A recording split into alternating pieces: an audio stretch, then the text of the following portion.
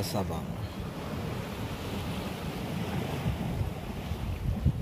Biasanya di depan kita akan banyak lumba-lumba yang menyeberang. Ikuti terus, simak terus video saya. Jangan lupa like, komen, dan subscribe. Dan jangan lupa nyalakan lonceng notifikasinya. Let's go!